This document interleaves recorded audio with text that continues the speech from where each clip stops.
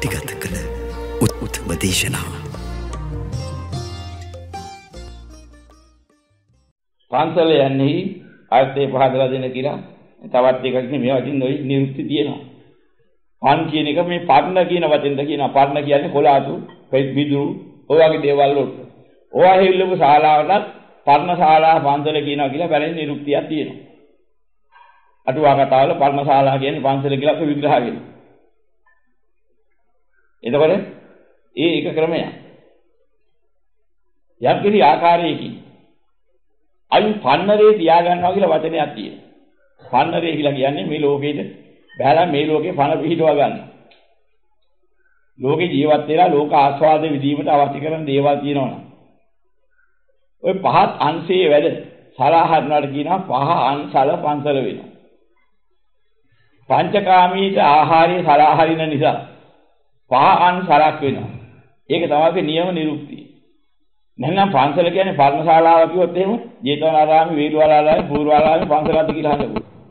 කොලාතු වෙලාද? කොලාතු වෙලක් නෙමෙයි ඒ දිවිච ලොකුම ඉහළම රටේ දිවිච ඉහළම මාලිගා. ජේතවනාරාමේ කියන්නේ පූර්වාරාමේ කියන්නේ ඒ ආදි වශයෙන් එදා හදලා තිබිච්ච.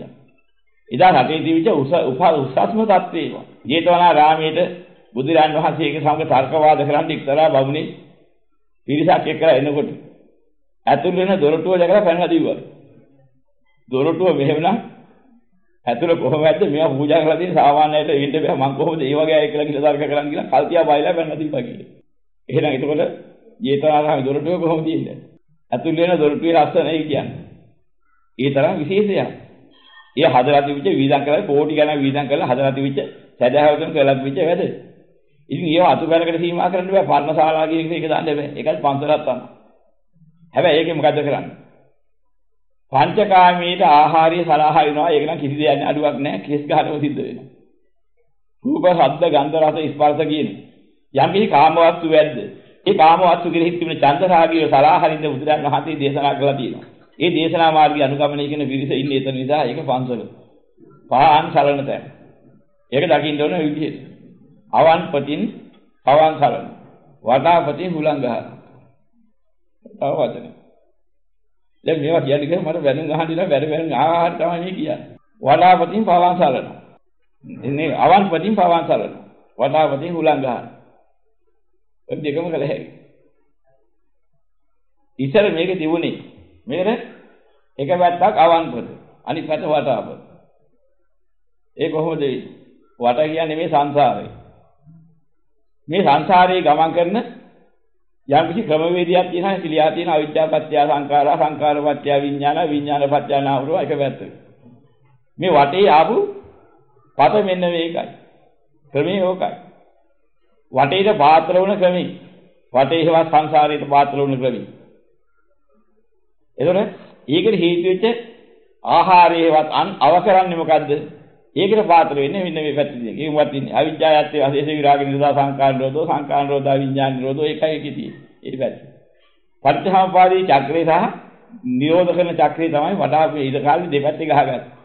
වික්ෂුන් වහන්සේලා සතහන් කරගත්ත ක්‍රමයක්. එක පැත්තෙන් ඉන්නේ සසර ගමන හැදෙන දුක්ඛාරි සත්‍ය හා දුක සමුදාය සත්‍ය ගොඩනගෙන හැටි.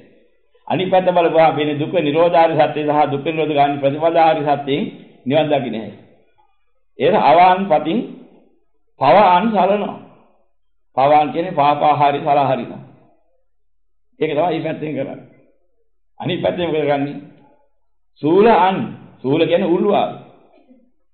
කාමයන් පස්සේ ගියොත් උල්වැනි ආහාරයෙන් ගහනවා. ගුටි කන්න සිද්ධ වෙනවා. ඔය කාරණා දෙක ගත්තාම වඩාවතින් හුලං ගහන එක දකින්නවා ආවන්පතෙන් පවන් සල්න එක දැක්ලා ඉතින් ආවන්පතෙන් පවන් සල්ලා දුකින් මිදෙනවා. ඒක තමයි නිතර බල බල ලෝකෙට කිව්වෙත් කෙලෙත් ඒකයි. තමන් ඒක දැකලා අනිත් පැත්තත් දැකලා මෙන්න මෙහෙමයි දුක්ඛ සහ දුක්ඛ සමුදය සත්‍ය කියලා විග්‍රහ කරලා දුක්ඛ නිරෝධය සහ දුක්ඛ නිරෝධය ප්‍රතිපදාරි සත්‍ය මේක කියලා අනිත් පැත්ත බලලා විග්‍රහ කරනවා. විග්‍රහ කරපුවාම ආවන්පතින් පවන් සල්ලා ඉතින් දුකෙන් මිදෙනවා. ඔය ගැඹුරු අදහස්.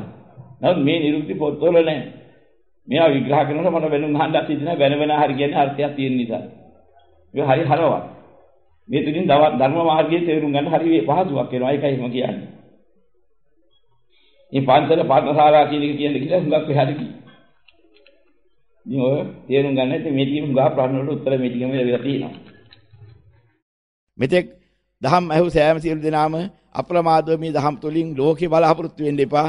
නිවන බලාපොරොත්තු වෙන කටයුතු කළා අප්‍රමාද නිවන් දකින්න අදිෂ්ඨාන කරගන්න සෑම සියලු දෙනාට යහපතක් වේවා.